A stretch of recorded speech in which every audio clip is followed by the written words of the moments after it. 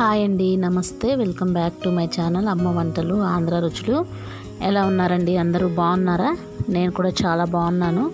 ఈ మధ్య వీడియోస్ పెట్టడం కొంచెం లేట్ అయింది ఏమనుకోకండి. ఎందుకంటే కొంచెం పర్సనల్ పనుల వల్ల బిజీగా ఉండి వీడియోస్ అనేది పెట్టలేకపోయాను. ఈ రోజైతే నేను మీకు చూపించబోయే రెసిపీ చాలా సూపర్ రెసిపీ సూపర్గా ఉంటుంది. ఆకుకూర అంటే పిల్లలు తినరు కదా మనం కనుక ఇలా ఆకుకూరను చేసామంటే వాళ్ళు తప్పకుండా తింటారు తప్పకుండా ఇష్టపడతారు. చాలా అంటే చాలా టేస్టీగా ఉంటుంది. ఆ రెసిపీ చూడబోయే ముందు నా ఛానల్ని ఎవరైనా ఫస్ట్ టైం చూస్తున్నట్లయితే ప్లీజ్ సబ్స్క్రైబ్ చేసుకోండి. పక్కనే ఉన్న బెల్ ఐకాన్ను కూడా క్లిక్ చేయండి. నేను పెట్టే ప్రతి వీడియో నోటిఫికేషన్ మీకు కూడా వస్తుంది. మీరు కూడా నా వీడియోస్ అన్నీ చూడొచ్చు. ఈ ఆకుకూరతో చేసే రెసిపీ చాలా అంటే చాలా బాగుంటుంది. ఆకుకూర ఇష్టపడని పిల్లలు కూడా చాలా ఇష్టంగా తింటారనమాట ఇలా ట్రై చేస్తే మీరు ఈ ఆకుకూరనే కాదు ఏ ఆకుకూర అయినా ఇలాగే ట్రై చేయండి. చాలా బాగా నచ్చుతుంది పిల్లలకు కూడా. ఈ రెసిపీ అయితే ఇప్పుడు చూసేద్దాం పదండి. ఫస్ట్ స్టవ్ వెలిగించి కళాయి పెట్టుకొని ఒక నాలుగు టేబుల్ స్పూన్ల ఆయిల్ వేసుకోవాలి. ఈ ఆయిల్ ప్లేస్లో మీరు నెయ్యి కానీ వెన్న కానీ వేసుకోండి. చాలా టేస్ట్ ఉంటుంది.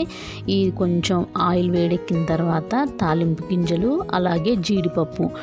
తినేటప్పుడు పంటి కింద జీడిపప్పు పలుకులు పడితే పిల్లలు చాలా ఇష్టంగా తింటారనమాట అందుకని అవి కూడా వేసి వేయించుకొని వాటితో పాటు వెల్లుల్లి. వెల్లుల్లి మనకి ఎంత ఎక్కువ ఉంటే ఈ ఆకుకూరలో అంత టేస్ట్ ఉంటుందండి.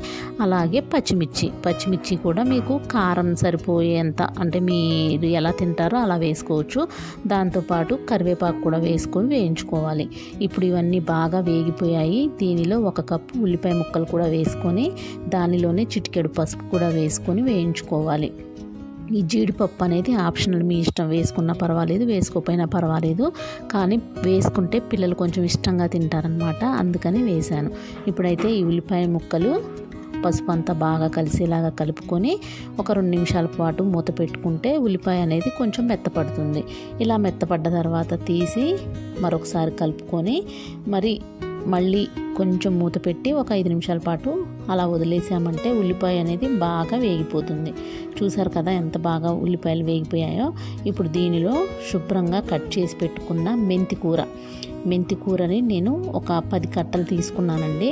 పది కట్టలు అంటే చిన్న చిన్నవి వస్తాయి కదా అవి పది కట్టలు తీసుకున్నాను అనమాట ఇది శుభ్రంగా కడిగి కట్ చేసి పెట్టుకున్న మెంతికూర అనమాట దాన్ని వేసుకున్నాను.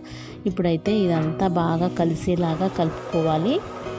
ఈ మెంతికూర ఫ్రై ఎంత టేస్ట్ ఉంటుందంటే మీరు ఒకసారి ఇలాగే ట్రై చేయండి. మీరు మెంతికూర అయినా పాలకూర అయినా తోటకూర అయినా ఏదైనా సరే మీరు ఇదే ప్రాసెస్లో చేయండి. పిల్లలు చాలా అంటే చాలా ఇష్టంగా తింటారు. ఇప్పుడైతే ఈ ఆకుకూర అంతా కలిసిపోయింది కాబట్టి మూత పెట్టి ఒక రెండు నిమిషాల పాటు మగ్గించాను. ఇలా మగ్గిన తర్వాత మరొకసారి మూత తీసి ఆకుకూర అంతా బాగా కలిసేలాగా కలుపుకోవాలి. ఈ ఆకుకూర చాలా త్వరగానే మగ్గుతుందండి. మనకి ఎక్కువ టైం కూడా పట్టదు. మనం శుభ్రంగా కట్ చేసుకొని కడిగి పెట్టుకోవడం ఒకటే లేట్ అనమాట మిగతా ప్రాసెస్ అంతా చాలా ఈజీగా అయిపోతుంది. ఇలాగే మళ్ళీ మూత పెట్టుకొని మరొక రెండు నిమిషాల పాటు మగ్గించుకోవాలి. చూసారు కదా ఆకుకూర ఎంత బాగా మగ్గిపోయిందో? చాలా తొందరగా మగ్గిపోతుంది. ఇది చాలా పోషక విలువలు ఉంటాయండి. మెంతికూరలో మెంతికూర ఇప్పుడు మనకి సమ్మర్ కదా ఈ సమ్మర్లో చాలా చలువ కూడా చేస్తుందనమాట రోజు మీ లంచ్లో కానీ డిన్నర్లో కానీ మెంతికూరను పెట్టుకోండి. చాలా అంటే చాలా బాగుంటుంది. వెయిట్ లాస్ కూడా మంచిది. చాలా సూపర్గా ఉంటుంది ఈ రెసిపీ. మూత పెట్టి మరొక రెండు నిమిషాలు మగ్గించుకుంటే ఆకుకూర అనేది చూశారు కదా చాలా బాగా మగ్గిపోయింది. ఇప్పుడు దీనిలోనే ఒక చిటికెడు ఉప్పు కూడా వేసుకొని చిటికడ అంటే మీ రుచికి సరిపడా. ఆకుకూరలో కొంచెం తక్కువగానే పడుతుంది ఉప్పు. కాబట్టి చూసి వేసుకోండి. కొంచెమే వేసాను నేను. మళ్ళీ మూత పెట్టామంటే దానిలో వాటర్ అనేది బయటకు వస్తుంది చూసారు కదా?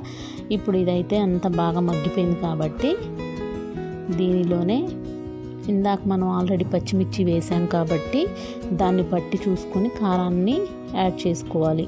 కారం అనేది తక్కువ తినేటట్లయితే మీకు ఆ వేసిన పచ్చిమిర్చియే సరిపోతుంది.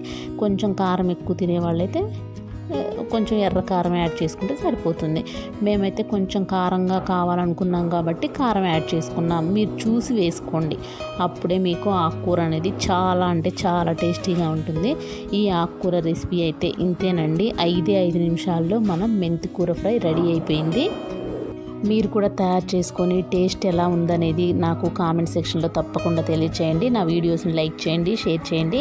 సబ్స్క్రైబ్ చేసుకోవటం మాత్రం మర్చిపోకండి. పక్కనే ఉన్న బెల్ బటన్ కూడా క్లిక్ చేయండి. అప్పుడే నేను పెట్టిన ఏ వీడియో అయినా మీకు కూడా వస్తుంది. మీరు కూడా నా వీడియోస్ అన్నీ చూసేయచ్చు. ఓకేనా ఫ్రెండ్స్? ఇప్పుడైతే నేను మరొక వీడియోతో మళ్ళీ నేను మీ ముందుకు వస్తాను. అంతవరకు అందరికీ బాయ్ బాయ్ టాటా.